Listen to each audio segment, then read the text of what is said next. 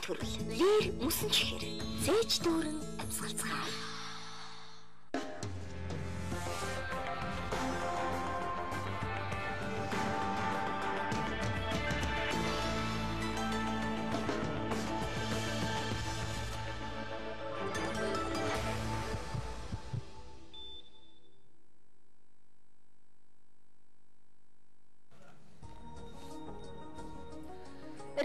Амгалан гэлтгий. Би сэтгүүлч Бадарчин жаргалмаа. За энэ арга та бүхэнтэй уулзаж студид ярилцлахаар за улсын хурлын гишүүн инх баярыг өрсөн байгаа. Ингээд урилгыг хүлээж хүрэлцсэн танд баярлалаа. За өрсөнд баярлалаа. За тэгэхээр ер нь Монгол Ардын нам эдийн засгийн эрчимжүүлэх хөтөлбөр гэдэг засгийн газар боловсруулсан улсын хурлын тогтоолын төслөөр ямар хөө байр суурьтай байгаа юм бэ гэдгийг эхний хэлсэн сонирхъя гэж бодож байна л да. Яг өнөөдрийн байдлаар та бүхэн энэ дээр ямар саналыг нэгтгэж сууж байна, ямар дүгнэлт хийж байна? Юуны өмнө их олзуурч байгаа зүйл бол эрх баригчд маань эдийн засгийн нөхцөл байдал хүндрэлээ гэдгийг хүлээн зөвшөөрж байгаа нь их олзуурах штэ. Үндсэндээ бид бүтэн жилийн өмнөөс л асуудал тавьсан. Маркет засгийн гол гол үзүүлэлт гончлаа. Гадаад төлбөрийн тэнцэл алдагдлаа. Өрзөөл төвшнөөс хуулийн хүрээнсээ давчлаа. Ханшны уналд бодиттой болчлоо. Урдлан сэргийлэх ёстой гэдэг арга хэмжээг яг жилийн өмнө бид тавьсан. Тэгээд харамсалтай юм эрх өрчт маань хүлээж авах амьдрал сайхан байгаа. Сайхан болох байгаа үед та нар ингээд муу юм яриад байна л гэж өнгөрч л байсан л да. Тэгээд харамсалтай нь яг нөхцөл байдал тоос олсож ясны дагуу муудаад ирлээ л дээ. Тэгээд улсын хурлд онц яаралтай гэдэг гормоор асуудлыг яаралтаар өргөн барьж байгаа. Тэгээд эдийн засгийн эрчимжүүлэн гэсэн томьёол орж ирж байгаа. Тэгээд энэ дээр бид бас нэг жоохон зарчмын байр суурь өөр байгаа. Аливаа эдийн засгийг эрчимжүүлэх гэж байгаа бол авах арга хэмжээ нь өөр байдаг. За. А эдийн засаг хүндэрж байгаа хямрал нөхцөл байдал бий болцсон үед бол бас авах арга хэмжээ өөр байх хэрэгтэй. Тэгээд ямар ч үс асуудал ороод ирсэн хоёр талаасаа ингээд ажлын хэсэг гарыг нийтдээ улсын хурлд нэг хилцээд эхэллээ. Тэгээ аяндаг нь ойлголцол харьцангуй бол ойртож байна. Бид хэд хэдэн зарчмын асуудал тавьсан. Арц намын өргөн барьж 23 зүйлийг багслаад үзвэл үндсэндээ 17 засгийн газар өөрхөн хийх ёстой байсан мөрийн хөтөлбөр бол дахин гуулж оруулж ирсэн. Үндсэндээ 2 жил хийгээгүй ажиллаа дахин хийнэ л гэж оруулж ирж байгаа. Бусдын ингээд багцлуул өрийн хэмжээг нэмье яг өөрийн хэмжээг нэмэх шаардлага бий болж ингэвэл Монгол улс эдийн засаг өөрөө өөрийгөө авч явах чадвар алдсан. Ахаал гадны зээлэр ахаал хэрэглээг хангахаас аргагүй нөхцөл байдал орлоо гэж гарцсан юм. Өөрийн асуудлыг нэмье. За тэгээд тусгай хамгаалалттай газар нутаг нөгөө урт нэртэй хуулиар хэз гарлагдсан. Тараш нутгийн хуулийг иргэн харъя. Ахаал ухах асуудал, тусгай хамгаалалттай газар нутаг ухах асуудал. За мөн 6 цэнгэ бооцоод тоглоом нөгөө казиногийн асуудлыг оруулж ирээ гэсэн. Ийм л гурван зүйл үндсэндээ байна да. За бид сөрөг хувилбаруу тавьж байгаа. Эдийн засаг эрчимжээд байгаа малгай эдийн засаг хүндэрж байна. Хүндрэх бай тухайн уналт эхэлчлээ. Уналтыг бид зөөлөх ёстой. Хохирол багтаа даван туулах ёстой. Монгол улсын нийт иргэн аж ахуй нэгж бүгд хэмнэлтийн горимд орчихсон байна. Одоо төр нэгдүгээр тэмнэлтийн горимд ор. Төр хит тэлсэн бүтцээ багасах. Шаардлагагүй яамдаа цөөл, агентлагуудаа зөөл, хэрэггүй орон тоог бүрдүүлж байгаа зөвлөх орлогч нарын асуудлыг тань. Ядахта 12 онд засгийн газар хүлээлгэж өгсөн тэр төвшөнд авчираа. Засаг өөрийгөө хумах. Нөгөө талдаа төсвийнхөө тодтолыг яаралд оруулж ирэх. Төсвтөр өөрчлөлт хийхгүй болохгүй. Өнөөдрийн байдлаар нэгдүгээр үйлдвэрлэлийн гүйцэтгэлээр төсөв 20 гаруй хувиар тасарчлаа. Бид чинь энэ жил төсөв зохиохдоо 31 сая тонн үрс гаргана гэсэн зорилготой зүгээр нэг жишээ авах гэдэг. Бидний хамгийн том найдлага тавьж байгаа эрдэс тавнлагоо маань 1 сая тоннтой сууж. За хувийн хвшлийн уурханууд бүгд зогссон байгааг мэдчихэж байгаа тийм биз. Тэгэхээр төсвийн хүндрэл бодиттой болцсон. Төсөв хүндрэн гэдэг маань бидний тооцоогоор ахаад нэг их найдын дасалт үүснэ. Нэг их найдын дасалт гэдэг маань энэ жил Монгол улсын хэмжээнд хөрөнгө оруулалт, орон нутагт хийгдэх татаа шилжүүлэх хийгдэхгүй гэсэн үг. Тэгээд төр өөрийгөө хумах, зардлаа багасгах, тэд зардлыг бол нэлийн дэвчих зарлуудаа гаргах, эренбэлэх хөрөнгө оруулалтынхаа шаардлагуудыг нэлээд эргэж харах гэдэг ийм шаардлага тавьж байгаа. За 3 дугаарт татварын реформыг яралтай хий. Татвар буюу төр өөрөө энэ татвар хураамж төрийн хяналтын байгууллагаар дамжуулаад эдийн засгт оролцох оролцоо хэр хэмжээ гитэрж байна. өнөөдөр бизнесийн байгууллагууд үндсэндээ хүн нөхцөлтэй болж гисэн. 2 жилийн дотор Монгол 27 мянган аж ахуйн нэгж үд авирсан байна. Тэгээс салбар салбараар бид гаргасан байгаа. Эдийн засгт төрийн оролцоо 60 гаруй болсон гэдэг тоо үзүүлэлт гарч байна. За мэдээж эдийн засаг одоо хүчтэй агшиж ирж байгаа цаг үед нийгмийн хамгаалалын асуудал хурцгаар тавиад нь тэтгэр тэтгэмж авч байгаа улсууд цалингаа цалингийн хооронд зээлээс зээлийн хооронд авж байгаа. За тэгээ жижиг дунд бизнес эрхэлж байгаа улсууд. За томоохон бизнес эрхэлж байгаа улсууд. Нь нийгмийн хамгаалалын бодлого бид яаж авч гарах юм бэ? Ялангуяа тэр эдийн засаг агшихад ажлын байраа алдаж байгаа, хүндэрж байгаа. Тэтгэр тэтгэмж нь нэмэгдэх боломжгүй. Яг байгаа энэ улсууд яг тэтгэврээ аваад хоёр тор хүнс авдаг байсан хөгшин өнөөдөр нэг торог л авдаг болсон. Нөгөө талдаа тэтгэвэр нэмэх гэхээр их уср байхгүй, орлого байхгүй. Тэгээд эрх хөрчт маань одоо яг энэ уулзуур дээр ирээд байна л да. Өнгөрсөн жил 3 их найдын эдийн засагт хэвлэл нийлүүлсэн. Үр дүнд нь Монгол төгрөгийн ханш 40% унсан байгаа тийм биз худалдаа авах чадвар. Одоо ахаад нэг бол тэтгэврийг нэмнэ гэдэг хөлбөр дээр ороод ирэх юм бол тэтгэвэр цалин нэмэхэд ахаад бэлэн мөнгөний нийлүүлэлт юм. Яагаад гэвэл төгрөгийн эсрэг барих ёстой нөгөө валют орлого байхгүй. Дахиад валютын ханш 2000-ыг давах ийм нөхцөл байдал үүсээд байгаа. Нэг талдаа тэтгэврийг нэмэх болцоогүй. Нэмэх юм бол Монгол төгрөг хэвлж тарана. Хэвлэх юм бол ханш өснө. Ханш өсөх юм бол гинжин оруулаараа эргээд Монгол төгрөгийн худалдаа авах чадвартай нөлөөлөх. Ийм аяг атсан шалаанд орсон. Үндсэндээ Монгол улсын нийгэм эдийн засгийн байдал хямралт уналтын байдал бодтой гэж болж гсэн байна. Магадгүй юу чинь хэд бараан талыг харах юм сөрөг хүчин учраас бас харах хэрэгтэй да. Гэхдээ Монгол Ардын нам зөв сөрөг хүчин гэдэг дүрдээ одоо хэд итгэхэд байгаа юм биш үү гэдэг асуултыг би асуумаар байна. Яагаад гэж асууж байгаа юм бэ гэхээр гадаад дотоод экспорт импортын одоо худалдааны эргэлт гэдэг юм уу тийм ээ. Бусад статистик мэдээллүүд дээр одоо тийм ээ худал мэдээллийг өгч байна эрх баригчид гэдэг зүйлийг ардын намын хахаар би их гайхчихсан л та. Статистикийн алба гэдэг бол улс төр ямар нэгэн албан тушаалтан биш. Тэр тоо бодож байгаа төгтөөчүүдээ би статистикчтаас асууж ирсэн тийм ээ. Гэдэг юм уу, тийм байдал байдаг юм уу? Засгийн газар ямар нэгэн байдлаар дарамтлаггүй гэдэг асуулт тийм юусоо байдгүй л гэсэн. Гэтэл яагаад ингэ тоон зөрөөд идгийг? За. Би дотроо гулаантан цагаантан болох асуулт сонир биш л дээ. Би хэнийг буруутгах таа биш. Бид нэгэнт дэлхийн ертөнцийн зах зээл нийгэмд амьдарч байгаа нийлдэхтэй болсон. Монголыг гадны ертөнцид өгнж байгаа. Бизнесийн зах зээл одоо. Монгол улс маань бид 2 жилийн өмнө шүү дээ. Бид сардаа нэг 500 600 сая долларын хөрөнгө оруулалт ордог. Үндсэндээ өдөр болгон буйн тухайдаар хувийн онгоц буудаг. Монголд хөрөнгө оруулъя гэсэн хөрөнгө оруулагч нар гушуурдаг. Монгол төгрөг дэлхийн хамгийн одоо Америк долларын эсрэг хамгийн хүчтэй чангарсан үндэсний мөнгөнд тэмдэгдэв. Монгол улсад хөрөнгө оруулалт хийхэд хамгийн таатай, хөрөнгө оруулалт шингээх чадвартай, улс төрийн доктортой. Эдийн нь одоо эрэг гэсэн юм үнэлгээг дэлхийн зах зээл өгөөд ямар байсныг та бид мэдж байгаа тийм биз.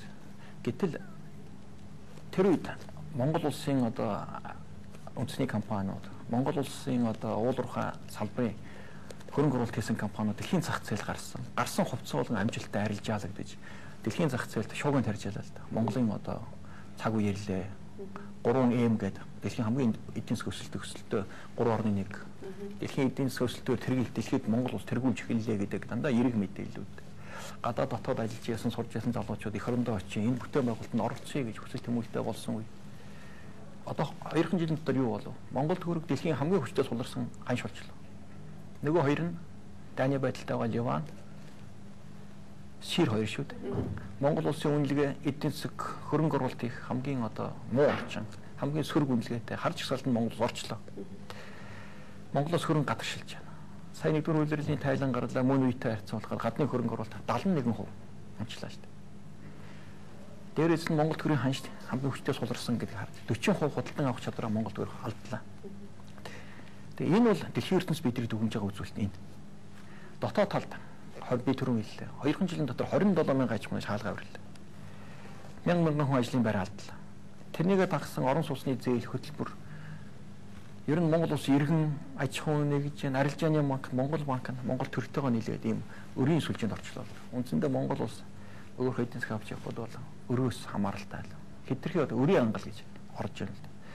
Тэгээ нэг төлөх чадвар алдаад ахаал ирэх хөрчт маань энэ хөтөлбөрийн хүрээнд гол агуулган бол ахаал их усрыг татах, олох зээл авах гэдэг дээр л бууж ах шиг байна.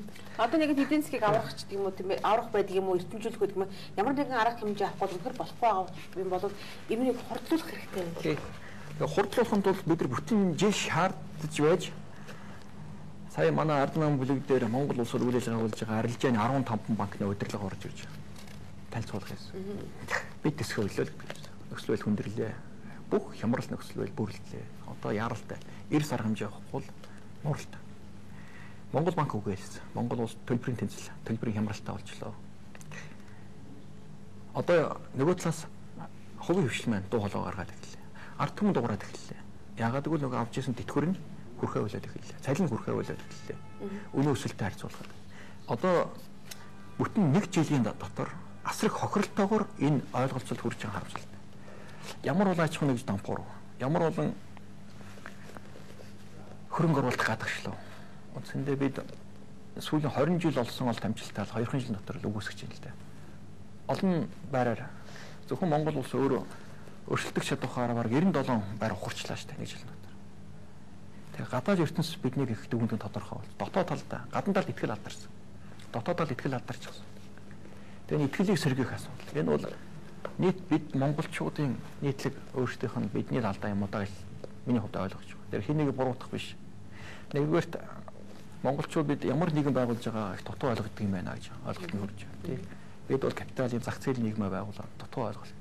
Иргэний хөдөлгөөн, улс төрийн намууд нь иргэдэн ч тэр дутуу ойлголттой байгаа юм байна. Ялангуяа энэ нийгмийн талаар мэдээлэл ард түмний нэлээд сайн мэдлэгжүүлэх шаардлагатай байгаа юм байна. Хоёрдугаарт маш ноцтой юм бол энэ 20 жилийн их том алдаа бол баялагын хуваарлтан дээр том алдаа гарч иж. Нийт бий болсон нийгмийн баялагын маш цөөхөн цөөхт дийлэнх ночтой болсон. Нийгмэр нийгэм өөрөө тэнцвэртэй бос болж байгаа юм байна. Энэ бол их туулийн ноцтой.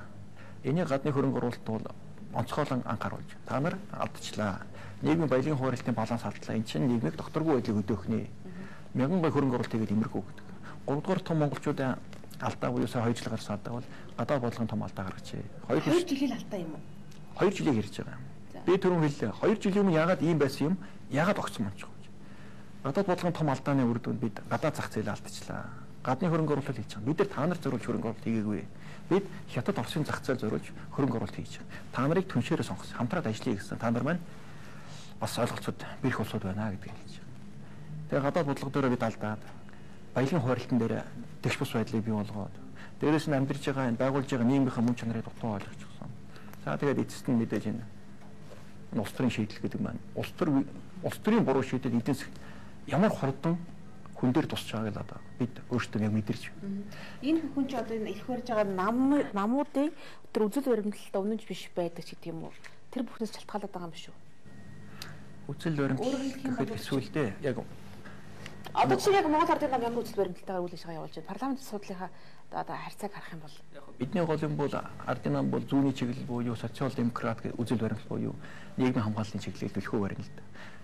3 сая Монгол улсад өнөөдөр нийгмийн хамгааллын бодлогыг л хүссэн хүсээгүй явуулж ээж л нөгөө хэдийгээ чирж ээж тэднийг бас гудамжинд хайчихгүй байх хэрэгтэй. Ягаад гэвэл бидний сонгосон энэ капиталын нийгэм маань өөр харгас нийгэм шүү дээ. Чи чадвал чадахгүй л үхэх гэдэг нийгэм. Гэтэл би цөөхөл.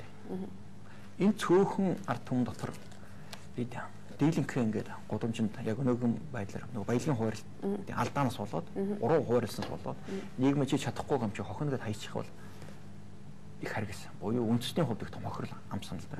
Бид тэрийгэ даван туулах чадахгүй байхгүй. Амьдрал ядуураад дийлэнх ядуураад ирэхээр ард түмэн өвчтөй болчих. Боловсролгүй болчих. Тэгэхээр цөөх ард түмэн өөрөө энэ хүндрэлийг давхад бол хэцүү. Тэгэхээр төрөөс заавал нийгмийн хамгааллын ийм бодлого явуулах ёстой гэдэг байр суурь ардын нам өнөөдөр хүртэл хатгуул байж байгаа. Тэр харин нийгмийн бол халамжийн бодлого чинь хит бэлэмжлэх сэтгэлгээ олон нийтэд өгснөөрөө нөгөө төрийн гар хараас сурцсан ажилгүйчүүд салхуучдыг бий болгоцсон юм шүү. Тэр чинь алдаа биш үү? Үгүй. Хүмүүс тэгж улс төрийн өнцгөөс тайлбарлах болохгүй. Тийм бол ягаад Монгол улсын эдийн засаг дэлхийд гайхахтаар өсөв?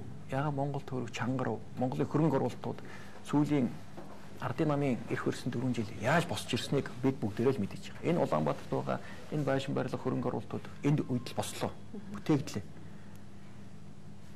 Бид мөнгө тараасан гэж яриад байгаа. Бид тараасан. бид ялангуяа хөдөөгийн бодлогыг хүчтэй явуулсан. Монголын нийгмийн гол доктортой мас бол малчин ард.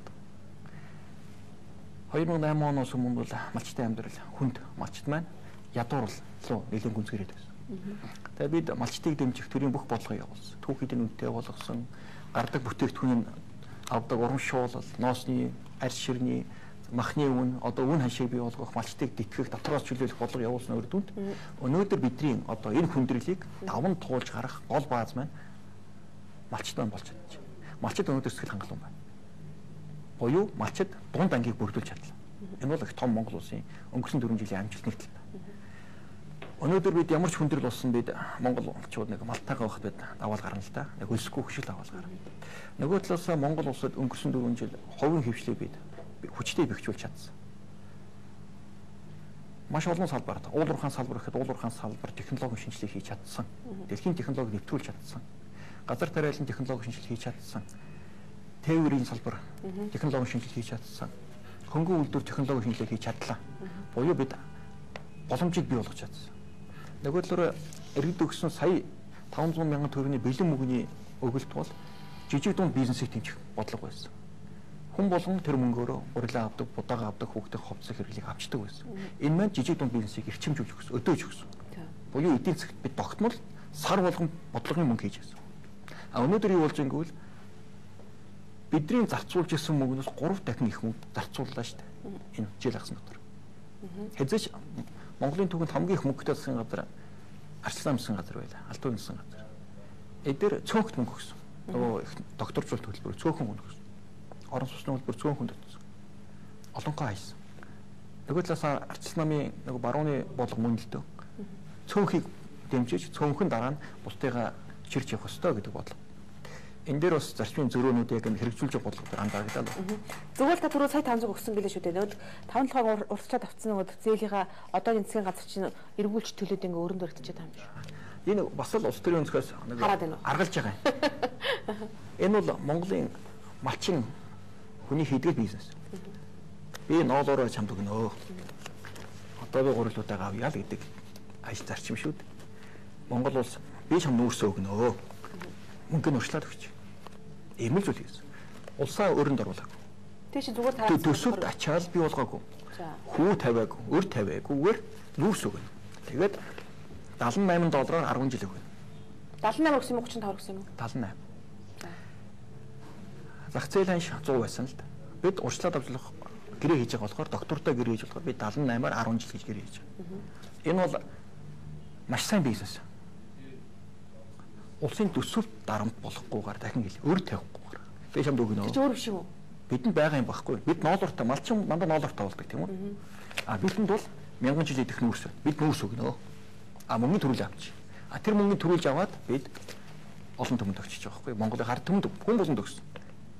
А өнөөдөр яаж ингэвэл Монголын ард түмний карманд өссөн бүх мөнгнөөс 40% нь хулгайлж байгаа. Тэтгэр авдаг өгшин төрөний хэлдэг хоёр тор биш нэг тор авдаг болсон. Цалинга та бүхний цалин ч гэсэн яаж бий болж байгаа вэ? Монгол төгрөг яаж унж байгаа вэ? Тэгээд энэ хулгайлсан 40% мөнгө цөөнх төчж байгаа харамсалтай байна. А бид бол боломжийг ашиглаад яг энгийн хамгийн бизнес энгийн ойлголтоор авч байгаа. А гэтэл өнөөдөр бол Монгол улсаа барьцаан тавьж ээж гаднаас арилжааны зээл авч байгаа. Усаа барьцаалж байгаа. Бүх төсвөө барьцаалж авч байгаа шүү дээ. Энэ Чингис Хамараа бондууд бол. А бид бол цэвэр бизнесийн нүүрс өгөн мөнгө авч. Тэгээ бид мөнгө авчихсан. Чамд ялгаа байгаа юу? Маш том ялгаа байлгүй. За нэг ийм асуудал. Таны нөгөө малчд руу их анхаарсан, мал аж ахуйд их анхаарсан. Сайн нэг хэсэг малчд маань малд чимэд төсөх юм агаал баах юм болоо. Тэр нь тамаа юм байла хариулт өгсөн ордоо нам. Би дотор. За тэр яг хөтэ өгөр хөөцөлдөх асуудал та.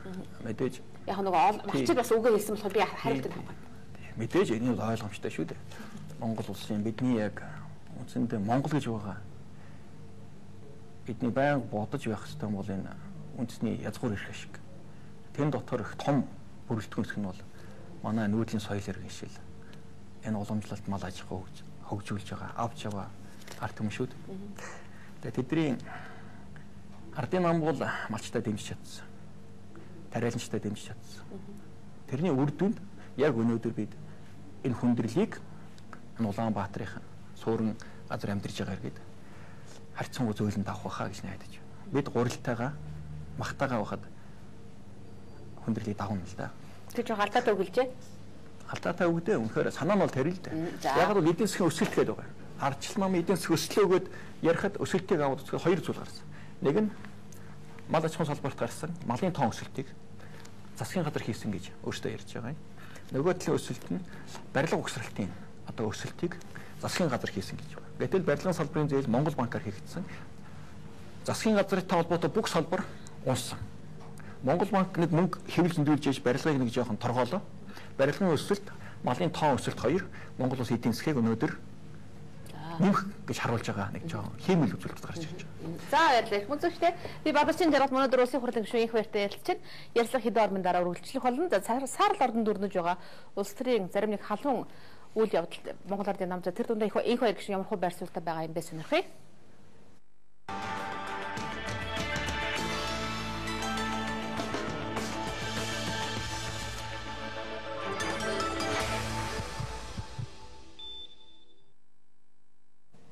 Их хурлын гишүүн их хоёртой ярилцж байна. Ярилцлага цааш нь үргэлжлүүлье.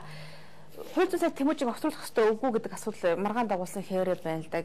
Хууль зүйн сайд маань ч гэсэн өөрөө бас жоохон хүнтхэн байдал байж байна. Монгол Ардын намын дээр ямар нэгэн байдлаар шийдвэрт хүрч чадсан уу? Ардын нам нэгдсэн байр суурь түрээг байгаа. Бид эрх хөрчтийг анзаарж байгаа. Асуудал тавьсан учир шалтгааныг тодруулахыг хичээж байгаа. За. Нууцын төрөлтөй олон материалууд байгаа. Тэнтэй танилцж байна. Мэдээллийг итгэл болтол нь сайн авах хэрэгтэй байгаа. Асуудал ноцтой шүү дээ. Тий. Бүхлөтөн хууль зүйн сайд цагдаагийн удирдлагын зөрчил. Би бол миний хувийн бодол бол энэ бол улс төрийн фракцуудын улс төрийн эдийн засгийн бүлэглэлийн цагдаагийн байгууллага хэн авах вэ гэдэг л хүчний байгууллага хэн авах вэ гэдэг л тэмцэл байна. Тэр тэмцлийн нэг илэрхийлэл юм уу ойлгож байна. Та бүхэн энэ тоглоомд оролцож байна уу? Энэ бол эрх хөрчтийн өөрсдөө хийж байгаа тоглоом шүү дээ. Өөрсдөө хийж байгаа л үйлдэл. Бид анхааралтай ажиглаж байна. Өнөөдөр энэ төрийн байгуулалтын болон бусад байнгаараа туралдах бах шийдвэрүүд гарцгаах бах тэрийг харна. Ардын нам нэгдсэн байр суурьнд хүрээгүй байгаа. энэ дээр асууя л да. Өөрөөр хэлбэл эрх хүчнийг шийдвэрийг харж байна гэдэг бол эргээд та бүхэн хариу мэх хийх. Тавил байх юм. Улс төр хийж байна. Улс төр хийн шүү дээ. Үнэхээр бодиттой байна уу, үгүй байна уу гэдгийг л. Магадгүй ардс нам дотроо фракц хуваагдаад ингээ үйл ойлголцож байгаа байдал нь ардын намд ашигтай байдлаар харагдах байх л да. Зүгээр заримдаа зарим ардын намын гишүүд тийм ээ. Өөрөлдөх бол Тэмүүжийн сайдыг үлдээх ёстой, хууль зүйн салбарт хийж байгаа шинжилэл, үргэлжлэх, төгсгөл тийм ээ, үр дүнгээ үзэх ёстой гэдэг байр суурийг илэрхийлж байгаа. Таны хувьд Арчис намын тухайд эдний нам маань олон намын нэгдэл олон нам маань фракц маягаар төлөвшөж байгаа. Үндсэндээ эдний засгийн газар нэг фракцын төлөлөө бүрдсэн. Нэг 5 6 ерөнхий сайттай. Бие биендээ захирагддаг, бие дэс улс төрийн бөгөөд эдийн засгийн бодлого явуулдаг. Засгийн газар нэгдмэл байр суурь байхгүй. Энэ бол бот байдал. Тэгээд хоорондоо фракц хоорондын зөрчил илэрж байгаа нь тэмүүжингээр илэрж байгаа бол энэ фракц хоорондын тэмцэлд хэн хүчний байгууллагыг хянаж байгаа нь улс төрийн ял байгуулах хүчтэй байх. Хүчтэй байх бод болцоо одоо энэ нэг сайхан шудраг улс төр яваад байгаа ч юм хаалгал байна. Шолоо хайл. Монгол Ардын намын фракц жигүүр асуулт ер нь амархуу байдалтай байдаг. Инх улдын фракц, Батулдын фракц гэдэг нэг зүйл яригддаг. Ардын Ардын одоо ил биш ч гэсэн тийм. Ардын намын бүтцэн өөр юм л да. За. Тий. Арчил нам нэг 10 толгойтой Монгол бол манайх нэг толгойтой 10 сүлтэй юм. Аа за. Тий. Толгоогоо тодруулахын тулд нэлээд улс төр тойрж явагддаг. Нэгэнд нэг толгой гарсан бол тэрийгээ дагаад 10 сүүлэн чирэгдэж явдаг. Арвины асуудал, бурмагийн асуудал зүгээр агаар нэгэн байж болцсохгүй юм гэж би харж байна л да. Өөрөөр хэлбэл арвин гишүүн бас ардын нам тодорхой юм дээр үзэл бодол таараагүй учраас тийм ээ. Нам ороход гараад өөр нам орчихсон. А тэгвэл одоо бурмаа гишүүн бас тодорхой байр суурь илэрхийлсэнийхээ үндсэн дараа ардс намаас хөөгдөн гэдэг асуудал яригдчихэж байгаа нь адилхан уу? Адилхан хоёр өөр асуудал да. За. Урмагийн асуудал дээр бол арчил нам их сандарч байгаа гэж шинж. Тэгээд намынхаа сахлах батаар барих гэж оролдож байна. Гишүүдээ үг хэлээ илэрхийлснийх нь хувьд их хурлынхан бүр гишүүнийхэн бүр өрхтний халдаж намаас хөөх бат тооцох, улсын хурал дэвшүүлэхгүй байх гэдэг улс төрийн дарамтыг учруулж байна. А бидний тухайд бол ариун ардын намын нэр дээр их хуралд орж ирсэн. Орж ирснийхаа дараа би өөр зам сонголоог л яваад өгсөн. Энд дээр бид юм яриаггүй шүү дээ. Тэр бол хувийн сонголт. Гэхдээ ер нь зүгээр яг нам намын гişүнчлэг гэдэг зүйл энэ юм ярих ёстой юм шиг санагдаад байна л да. Өөрөөр хэлбэл хүн ягаад арт түмний тэ одоо та ч гэсэн арт түмний төлөөлөл болгоод тийм ээ их хоёроо чих хурд очиод миний үгийг хэлээрэй гэж очсон. Гэтэл та гişүүд сонгогчдийнхаа үгийг үзлүүлэлийг илэрхийлэх тийм ирэхгүйгээр энэ намтаа сууж ах хэвээр юм уу? Тэгэхээр энэ манай сонгуулийн энэ системийг том сав ганцаарч байгаа. Буюу энэ профессионал систем буюу намын чагсаалт. Энэ бол Монголын яг өнөөгийн нийгэмд хуулийн хортой тусах юм байна гэдгээл итгэл үнэж надад улам төрөөд байна. Монгол ард түмэн чинь биенээ мэднэ. Хэн хэн бэ? Хэний хүүхэд вэ? Энэ юу хийдэг вүлээ? Удам судар нь юу вүлээ? Ямар шуухан ааш авартай вүлээ? Ер нь барай тэмтрээд нэг 5 үгийн солиод л таньчин шүү дээ. Тэгээ тийм ард түмээр шүүхдэггүйгээр намын дарга та дагсан, тойрсон, ая тал зассан буюу энэ фракц бүлэглэл энэ намын нэрийн ард нуугдаж орж ирэх. Энэ улмаар бэхжих. Тэгээ улам улс төрийн сонгогчдоосоо тасрах нөгөө парламент ус маань улам буруу тал руугаа улс төр эдийн засгийн бүлэглэлийн одоо шийдвэр ард түмний хүсэлт мөрөөдөл биш улс төр эдийн засгийн бүлэглэлийн шийдвэр гаргах ийм замлууга явж яана шаарч байна.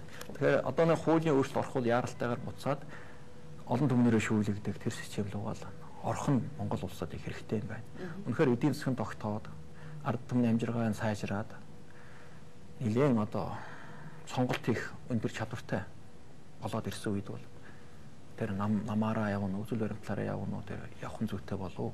Яг одоо бол ийм туйлын эмзэг улс төрийн эдийн засгийн энэ улс орны ийм шийдвэрлэх цаг үед бол арт түмнэрээ шүүлэх нь л явж явж л хожиндоо л гэж бодоод байна. Хууль шүүхийн шинжилэл хэр явагдаж байгааг та нь харж байна. Хууль шүүхийн шинжилэл маш их явагдаж байна. Дэндүүх явагдаж. Энэ суур системийг суур тулгуур баган шүү дээ. Улс орны авч яваа. Эрх зүйн салбарыг хитрхи хөдлөгдсөн. Би тэмүүжийн шүүмжлэлтэй ханддаг. Чи хитрхи шуурхайлж байна. Толгор хэдэн агентлагуудаа нэг өөрчлөлтийг ээж дараагаар нь айдуу зөөлөн төрүүлээд нилээн соён гэгэрүүлэх ойлгуулах ажлаа хийгээд явахгүй хит шуурхайлж байгаадаг төрөгдөд байна уу даа л гэдэг.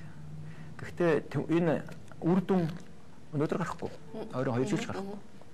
Ирэх 20 жил харагдана. 1992 онд хийсэн үндсэн хууль тэр үед хийгдсэн гол тулгуур эрх зүйн салбарын шинжилт өнөөдөр үр дүнгээ үзүүлж байгаатай яг адилхан энэ эрх зүйн салбарын том шүүхийн шинтгэл энэ цагдаа шүүх прокурор бүхэл байгууллага хөдөлгөөний салбарг боллоо шүү дээ. Энэ хөдөлгөөн эх 20 жил дотор л үр дүнгээ 10 жилийн цаанаас дараагаас л нийгмийн үр дагавар нь тодорч гарч ирнэ. Тэр үед л шүүнэ. Өнөөдөр бол шүүх боломж байхгүй. Яагаад гэвэл энэ бол урт хугацаанд. Гэтэ тэмүүжин гардаг тэр яаруу сан руу ч гэдэг юм уу тийм ээ зөрөгтэй одоо хүчтэй шийдэл хийж байгаагаар нонж нь алдаж байна. Та юу аль руу онж болно. Маш том бас алдаж болно. За. За их юм үзэгчтэй. Өнөөдөр миний зочин улсын хурлын гишүүн баярлалаа.